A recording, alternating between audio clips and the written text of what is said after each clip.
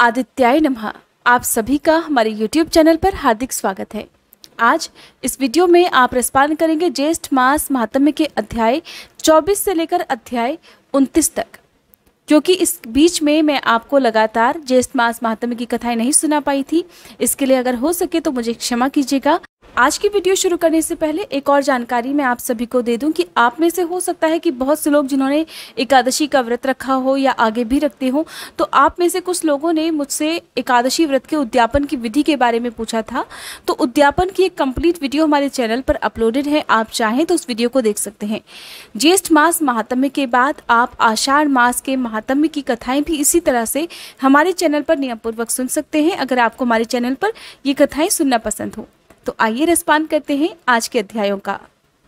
अध्याय 24 ब्रह्मादि देवताओं द्वारा भगवान सूर्य की स्तुति और वर की प्राप्ति का वर्णन। सुमंतु मुनि कहने लगे, हे राजन, भगवान सूर्य की भक्ति, पूजा और उनके लिए दान करना तथा हवन करना सभी के वश की बात तो नहीं है, और उनकी भक्ति और ज्ञान और उसका अभ्यास करना भी अत्यंत दुर्लभ है। फिर भी उनके पूजन स्मरण से इसे प्राप्त किया जा सकता है। सूर्य मंदिर में सूर्य की परिक्रमा करने से ये सदा प्रसन्न रहते हैं।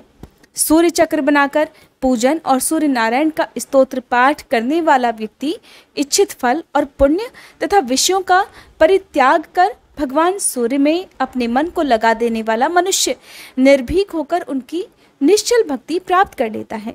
राजा शतानिक ने पूछा, हे द्विश्रेष्ठ, मुझे भगवान सूर्य के पूजन की विधि सुनने की बड़ी ही अभिलाषा है। मैं आपके ही मुख से सुनना चाहता हूँ। कृपा कर कहिए कि सूर्य की प्रतिमा स्थापित करने से कौन सा पुण्य और फल प्राप्त होता है, तथा सम्मार्जन करने और गंध आदि के लेपन से किस पुण्य की प्राप्ति होती है? आरती, नृत्य, मंगल गीत आदि कृत्यों के करने से कौन सा पुण्य प्राप्त होता है? अर्घदान, जल और पंचामृत आदि से स्नान, कुश, रक्त, पुष्प, स्वर्ण रत्न, गंध, चंदन, कपूर आदि के द्वारा पूजन, गंध आदि विलेपन, पुराण श्रवण और वाचन, अव्यंग दान और व्योम रूप में भगवान सूर्य तथा अरुण की पूजा करने से जो फल प्राप्त होता है, वह भी बतलाने की कृपा करें। तब सुमंतु मुनि इस प्रकार कहने लगे, राजन, पहले आप भगवान सूर्य के महानीय तेज के विषय में सुनिए। कल्प के प्रारंभ में ब्रह्मादि देवगण अहंकार के वशीभूत हो गए। तम रूपी मोह ने उन्हें अपने वश में कर लिया।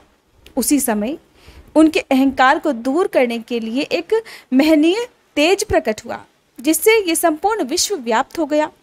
अंधकार नाशक तथा सौ योजन विस्तार युक्त वह तेज पुंज आकाश में भ्रमण कर रहा था। उसका प्रकाश पृथ्वी पर कमल की कर्णिका की भांति दिखलाई दे रहा था। ये देख ब्रह्मादि देवगण परस्पर इस प्रकार विचार करने लगे कि हम लोगों का तथा संसार का कल्याण करने के लिए ही ये तेज प्रादुर्भूत अर्थात प्रकट हुआ है। ये तेज कहाँ से प्रकट हुआ इस विषय में कुछ न जान सके और इस तेज ने सभी देवगणों को आश्चर्यचकित कर डाला था। तेजाधिपति उन्हें दिखाई भी नहीं पड़े। तब ब्रह्मादि देवताओं ने उनसे पूछा, हे देव, आप कौन हैं? कहाँ हैं? ये तेज की कैसी शक्ति है? हम सभी लोग आपका दर्शन करना चाहते हैं। उनकी प्रार्थना से प्रसन्न होकर भगवान सूर्य नारायण अपने विराट रूप में प्रकट हो गए। उस महनीय तेज स्वरूप भगवान भास्कर की देवगण पृथक पृथक वंदना करने लगे। ब्रह्मा जी की स्तुति का भाव इस प्रकार है। ब्रह्मा जी ने इस प्रकार स्तुति की, हे देव देवेश, आप सहस्त्रों किरणों से प्रकाशमान हैं। हे कौन वल्लभ, आप संसार के लिए दीपक हैं, आपको नमस्कार है। अंतरिक्ष में स्थित होकर संपूर्ण विश्व को प्रकाशित करने वाले भगवान भास्कर, विष्णु, कालचक्र, अमित तेजस्वी, सोम, काल, इंद्र, वसु, अग्नि, खग, लोकनाथ तथा एक चक्र वाले रथ से युक्त ऐसे नाम वाले आपको नमस्कार है। आप अमित तेजस्वी और संसार के कल्याण तथा मंगलकारक हैं। आपका सुंदर रूप अंधकार को नष्ट करने वाला है। आप तेज की निधि हैं, आपको नमस्कार है। आप धर्म आदि चतुर्वर्ग स्वरूप हैं तथा अमित तेजस्वी हैं, क्रोध लोभ से रहित हैं। संसार की स्थिति में कारण हैं, आप शुभ और मंगल स्वरूप हैं तथा शुभ और मंगल के प्रदाता हैं। आप परम शांत स्वरूप हैं तथा ब्राह्मण और ब्रह्म रूप हैं। ऐसे हे पर ब्रह्म परमात्मा जगतपते, आप मेरे ऊपर प्रसन्न होइए, आपको नमस्कार है। ब्रह्मा जी के बाद शिव जी ने महातेजस्वी सूर्य नारायण को प्रणाम करके उनकी स्तुति इस प्रकार की। विश्व की स्थिति के कारण स्वरूप भगवान सूर्यदेव, आपकी जय हो। अजय, हंस, दिवाकर, महाबाहु, भूधर, गोचर, भाव, खग, जगतपति, भानु, काल, अनंत, संवत्सर तथा शुभानंद, आपकी जय हो। कश्यप के आनंद वर्धन अदिति पुत्र सप्ताश्व वाहन सप्तेश अंधकार को दूर करने वाले आपकी जय हो। वेदांग रूप, ग्रह रूप, सत्य रूप, स्वरूप, क्रोधादि के विनाशक, कल्याण पक्षी रूप तथा यति रूप आपकी जय हो। हे प्रभु, आप विश्वरूप विश्वकर्मा, ओंकार, वशटकार, स्वाहाकार तथा स्वधा रूप हैं और आप ही अश्वमेध रूप, अग्नि और अर्यमा रूप हैं। संसार रूपी सागर से मोक्ष दिलाने वाले हे जगतपते, मैं संसार सागर में डूब रहा हूँ। मुझे अपने हाथ का अवलंबन दीजिए, आपकी जय हो। भगवान शिव के बाद, भगवान विष्णु ने सूर्य नारायण को श्रद्धा और भक्ति पूर्वक प्रणाम कर उनकी स्तुति इस प्रकार की। भूत भावन देव देवेश आप, दिवाकर, रवि, भानु, मार्तंड, भास्कर, भग, इंद्र, विष्णु, हरि हंस, अर्क इन रूपों में प्रसिद्ध हैं। आपको नमस्कार है। हे लोक गुरु विभु, त्रिनेत्रधारी, त्रिमूर्ति, त्रिगति हैं। आप छह मुख, चौबीस पाद तथा बारह हाथ वाले हैं। समस्त लोकों तथा प्राणियों के अधिपति हैं। देवताओं तथा वर्णों के भी आप ही अधिपति हैं। आपको नमस्कार है। हे जगत स्वामिन, आप ही ब्रह्मा, रुद्र, प्रजापति, सोम आदित्य, ओंकार, बृहस्पति, बुध, शुक्र, अग्नि, भग, वरुण हैं। आपसे ही ये संपूर्ण चराचर जगत व्याप्त है। देवता, असुर तथा मनुष्य आदि सभी आपसे ही उत्पन्न हुए हैं। हे अनघ कल्प के आरंभ में संसार की उत्पत्ति, पालन और संहार करने के लिए ब्रह्मा, विष्णु और शिव उत्पन्न हुए हैं। आपको नमस्कार है। ब्रह्मादि देवताओं की स्तुति से भगवान सूर्य नारायण बहुत ही प्रसन्न हुए और उन्होंने ब्रह्मा, विष्णु तथा महादेव को अपनी अखंड भक्ति तथा अपना अनुराग प्राप्त करने का वर प्रदान करते हुए कहा, हे विष्णु, आप देव, दानव, यक्ष, राक्षस, गंधर्व आदि सभी पर विजय प्राप्त कर अजय रहेंगे। संपूर्ण संसार का पालन करते हुए आपकी मेरे ऊपर अचल भक्ति बनी रहेगी।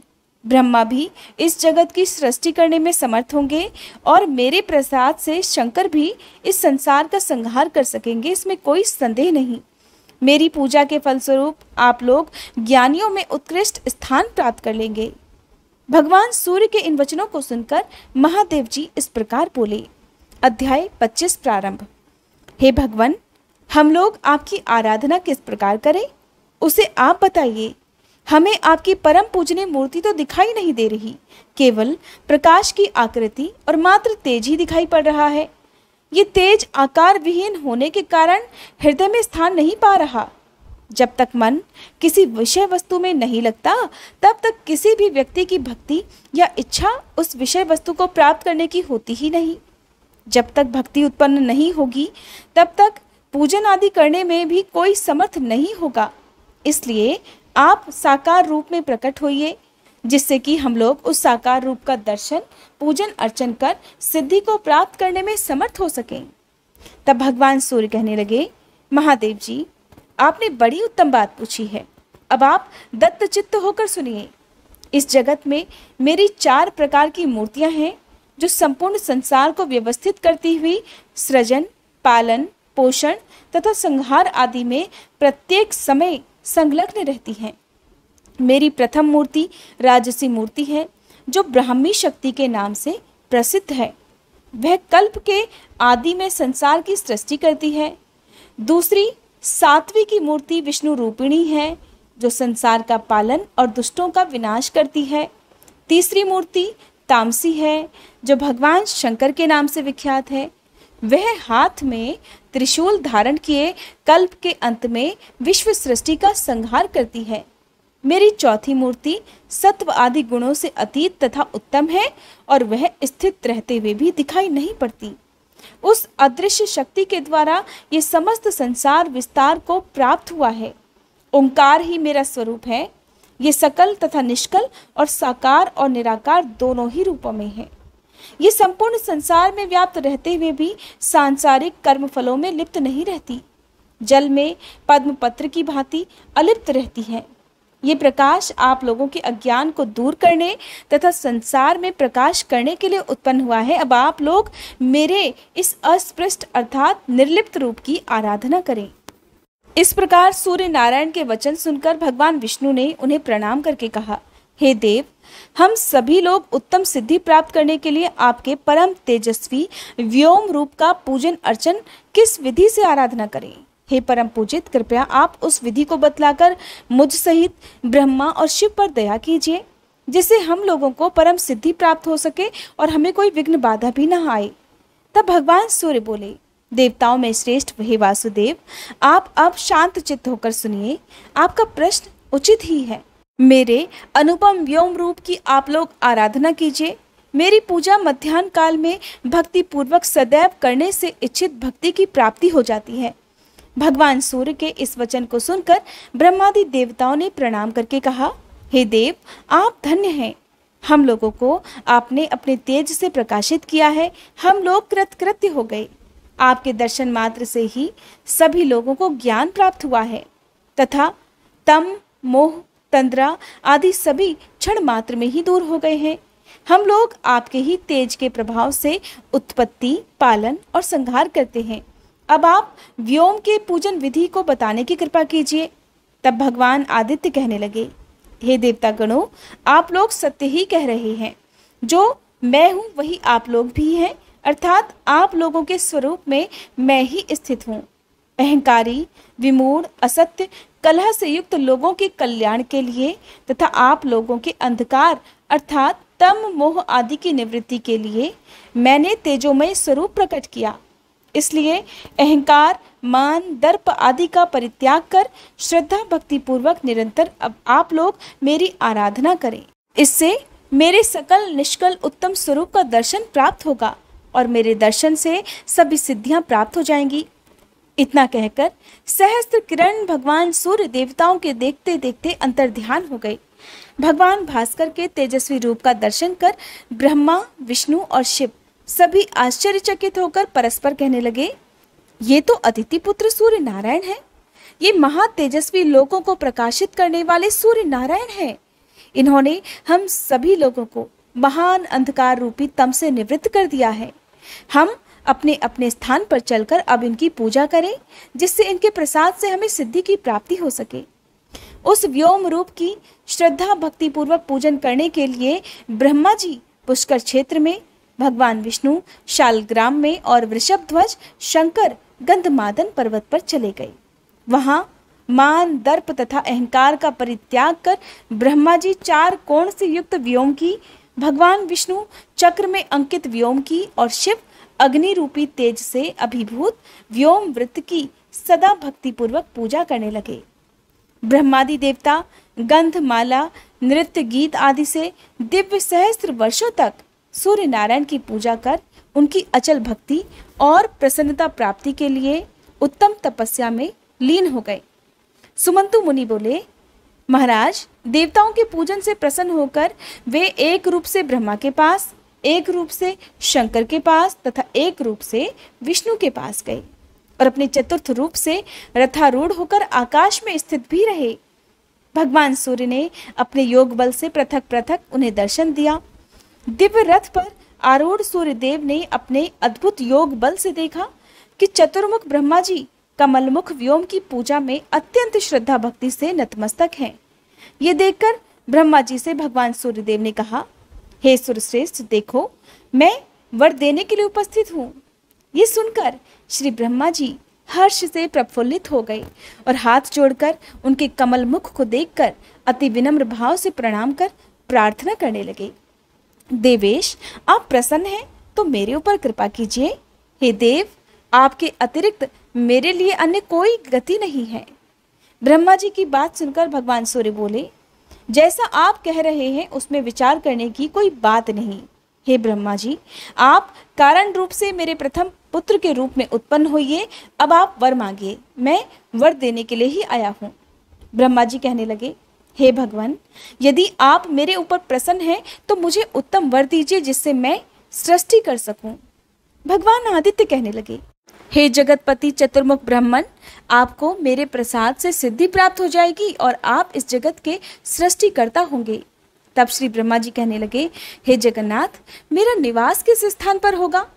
भगवान सूर्य कहने लगे, जिस स्थान पर मेरा महद व्योम पृष्ठ श्रृंग से युक्त उत्तम रूप रहेगा, वहीं कदम्ब रूप में आप नित्य स्थित रहेंगे। पूर्व दिशा में इंद्र, अग्निकोण में शांडली सुत अग्नि, दक्षिण में यम नैत्य कोण में नैऋति पश्चिम में वरुण और वायव्य कोण में वायु तथा उत्तर दिशा में कुबेर का निवास रहेगा। ईशान कोण में शंकर और आपका तथा मध्य में विष्णु का निवास रहेगा। ब्रह्मा जी कहने लगे, देव, आज मैं कृतकृत्य हो गया। जो कुछ भी मुझे चाहिए था वो सब मुझे प्राप्त हो गया।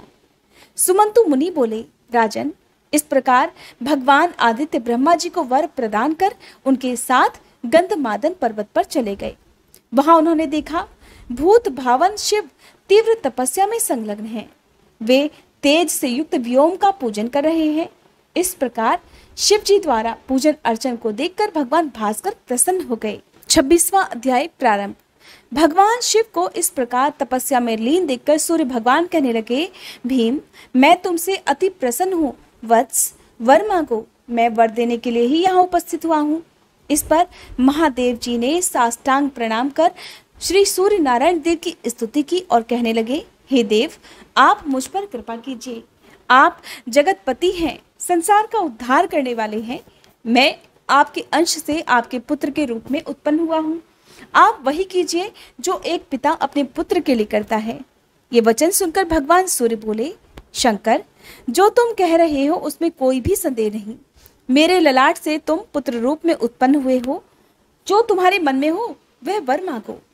तब महादेव जी कहने लगे, हे भगवान, अगर आप मेरे ऊपर संतुष्ट हैं तो मुझे अपनी अचल भक्ति प्रदान कीजिए, जिससे यक्ष, गंधर्व, देव, दानव आदि पर मैं विजय प्राप्त कर सकूँ और युग के अंत में प्रजा का संहार कर सकूँ। हे देव, मुझे उत्तम स्थान भी प्रदान करें। भगवान सूर्य ने ऐसा ही होगा। कहकर कहा कि इसी प्रकार तुम मेरे परम व्योम रूप की पूजा प्रतिदिन करते रहो और यही परम तेजस्वी व्योम तुम्हारा शस्त्र अर्थात त्रिशूल होगा। सुमंतु मुनि बोले, महाराज, तदंतर भगवान सूर्य भगवान विष्णु को वर देने वाले शालग्राम अर्थात मुक्तिनाथ क्षेत्र में गए। वहाँ उन्होंने देखा कि वे कृष्णाजिन धारण कर शांतचित्त होकर परम उत्कृष्ट तपस्या कर रहे हैं और हृदय में भगवान सूर्य का ध्यान कर रहे हैं। भगवान भास्कर ने अति प्रसन्न होकर उनसे कहा, हे विष्णु, मैं आ गया हूँ, मुझे देखो। भगवान विष्णु ने उन्हें सर झुकाकर प्रणाम किया और कहने लगे, हे जगन्नाथ, आप मेरी रक्षा कीजिए, मेरे ऊपर दया कीजिए, मैं आपका दूसरा पुत्र हूँ। पिता अपने पुत्र पर जैसी कृपा दृष्टि रखता है, उसी प्रकार आप भी मेरे ऊपर दया दृष्टि बनाए रखें। विष्णु जी की बात सुनकर भगवान सूर्य बोले, हे महाबाहो, मैं तुम्हारी श्रद्धा भक्ति से संतुष्ट हो गया हूँ। जो कुछ भी इच्छा हो मांग लो। मैं वर प्रदान करने के लिए यहाँ पर आया हूँ। सूर्य नारायण के वचन सुनकर भगवान विष्णु कहने लगे, हे भगवान, आज मैं कृतकृत्य हो गया। मेरे समान कोई भी धन्य नहीं है, क्योंकि आप संतुष्ट होकर मुझे स्वयं वर देने आ गए। आप अपनी अचल भक्ति और शत्रु को पराजित करने की शक्ति मुझे प्रदान कीजिए। और जैसे मैं संसार का पालन कर सकूँ, ऐसा वर भी प्रदान कीजिए।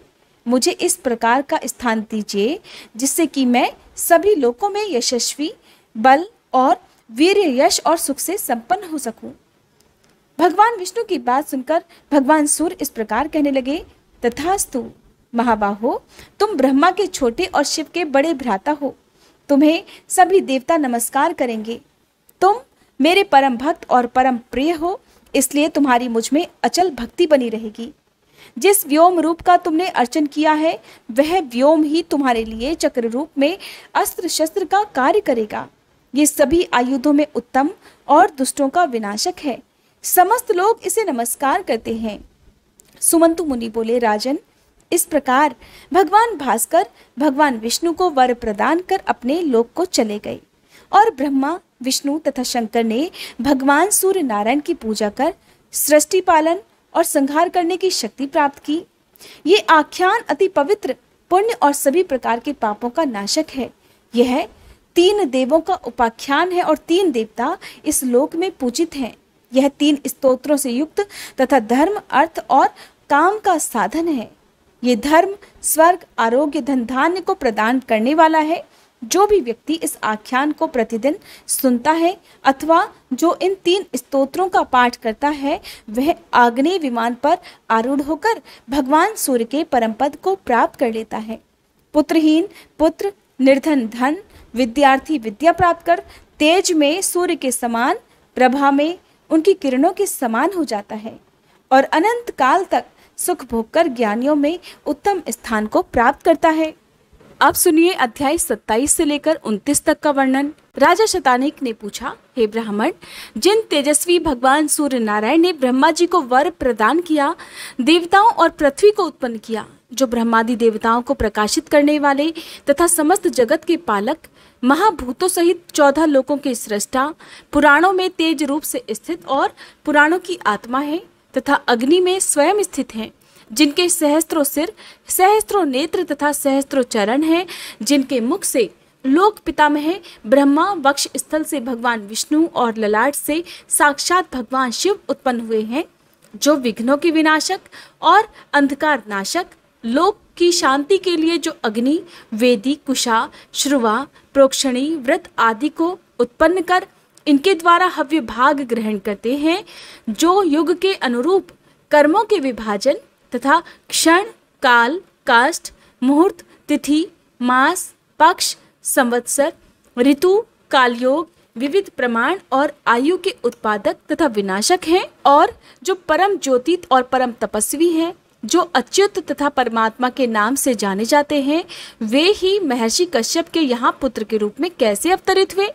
ब्रह्मादि जिनकी उपासना करते हैं तथा वेद वेदताओं में जो उत्तम और देवताओं में प्रभु विष्णु हैं, जो सौम्य में सौम्य, अग्नि में तेज स्वरूप हैं, मनुष्यों में मन रूप से तथा तपस्वियों में तप रूप से विद्यमान है, जो विग्रह में विग्रह हैं, जो देवताओं और मनुष्यों सहित समस्त लोगों को उत्पन्न करने वाले हैं, वे देवों के देव भगवान सूर्य किस लिए अदिति के गर्भ से स्वयं उत्पन्न हुए?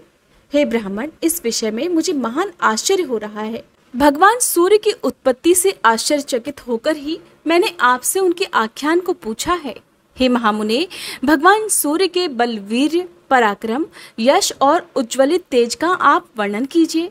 सुमंतु मुनि बोले, राजन, आपने भगवान भास्कर की उत्पत्ति के संबंध में बहुत ही जटिल प्रश्न पूछा है। मैं अपनी सामर्थ्य के अनुसार कह रहा हूँ, आप उसे श्रद्धा और भक्ति पूर्वक सुनिए। जो भगवान सूर्य सहस्त्रों नेत्रों वाले, सहस्त्रों किरणों से युक्त और सहस्त्रों सिर तथा सहस्त्रों हाथ वाले हैं सहस्त्रों मुकुटों से सुशोभित तथा सहस्त्रों भुजाओं से युक्त और अव्यव हैं। सभी लोगों के कल्याण और सभी लोगों को प्रकाशित करने के लिए अनेक रूपों में अवतरित होते हैं। वही भगवान सूर्य कश्यप द्वारा अदिति के गर्भ से पुत्र रूप में उत्पन्न हुए। महाराज, कश्यप और अदिति से जो जो पुत्र उत्पन्न होते थे, वे उसी क्षण मर जाते थे। इस पुत्र विनाश को देखकर पुत्र शोक से दुखी होकर माता अदिति व्याकुल होकर अपने पति महर्षि कश्यप के पास गई। वहाँ पहुंचकर अदिति ने देखा कि महर्षि कश्यप अग्नि के समान तेजस्वी, दंड धारण किए हुए, कृष्ण मृग पर आसीन तथा वलकल धारण किए हुए भगवान भास्कर के सदृश ददीप्यमान हो रहे हैं। इस प्रकार से उन्हें स्थित देखकर अदिति ने प्रार्थना करते हुए कहा, हे देव, आप इस तरह निश्चिंत होकर क्यों बैठे हुए हैं? मेरे पुत्र उत्पन्न होते ही मृत्यु को प्राप्त होते जा रहे हैं। अदिति के इस वचन को सुनकर ऋषियों में उत्तम कश्यप जी ब्रह्मलोक गए और उन्होंने अदिति की बातें श्री ब्रह्मा जी को बतलाई। तब ब्रह्मा जी ने कहा, पुत्र, हमें भगवान भास्कर के परम दुर्लभ स्थान पर चलना चाहिए। ऐसा कहकर ब्रह्मा, कश्यप और अदिति के साथ विमान पर आरूढ़ होकर सूर्य देव के भवन को चले गए। उस समय सूर्यलोक की सभा में कहीं वेद ध्वनि हो रही थी, कहीं यज्ञ हो रहा था। ब्राह्मण वेद की शिक्षा दे रहे थे। अठारह पुराणों के ज्ञाता विद्या विशारद भीमा संकक, वेदांत वेदादि सभी सूर्य देव की उपासना में लगे हुए थे। विद्वान ब्राह्मण जब तप, हवन आदि में संलग्न थे। उसी सभा में रश्मि माली, भगवान दिवाकर को महर्षि कश्यप आदि ने देखा। देवताओं के गुरु बृहस्पति, असुरों के गुरु शुक्राचार्य आदि भी वहीं पर भगवान सूर्य की उपासना कर रहे थे।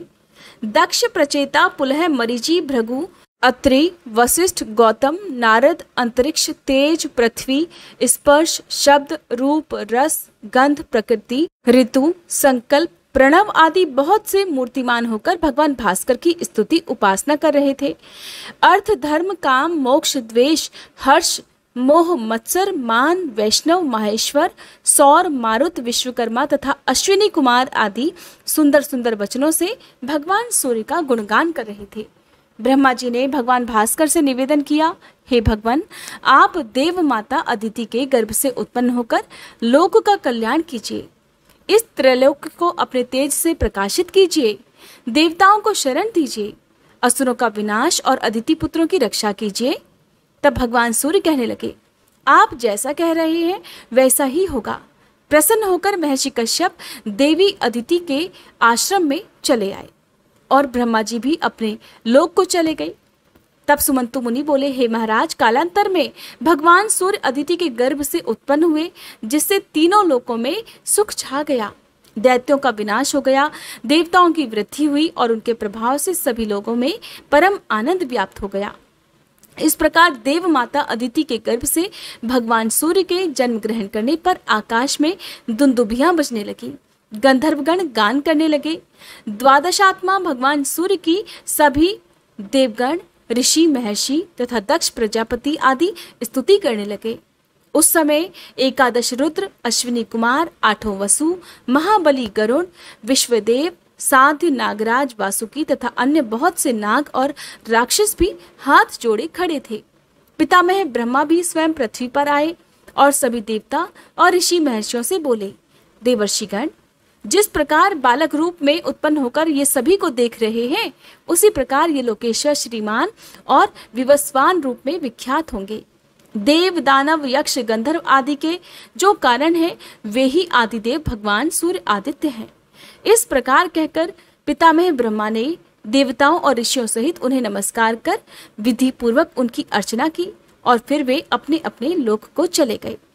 वेदों द्वारा गेय तथा इंद्रादि बारह नामों से युक्त भगवान सूर्य को पुत्र रूप में प्राप्त कर महर्षि कश्यप अदिति के साथ परम संतुष्ट हो गए और सारा विश्व हर्ष से व्याप्त हो गया तथा सभी राक्षस भयभीत हो गए। भगवान सूर्य बोले, महर्षि, आपके पुत्र नष्ट हो जाते हैं। इसलिए गर्भ की सिद्धि के लिए मैं आपके यहाँ पुत्र रूप में उत्पन्न हुआ हूँ। सुमंतु मुनि बोले, राजन इस प्रकार भगवान भास्कर की आराधना करके ब्रह्मा जी ने सृष्टि करने का वर प्राप्त किया और कश्यप मुनि ने भी भगवान भास्कर को प्रसन्न कर उन्हें पुत्र रूप में प्राप्त कर लिया। आज के अध्याय समाप्त। उम्मीद करती हूँ ये वीडियो आपको पसंद आई होगी।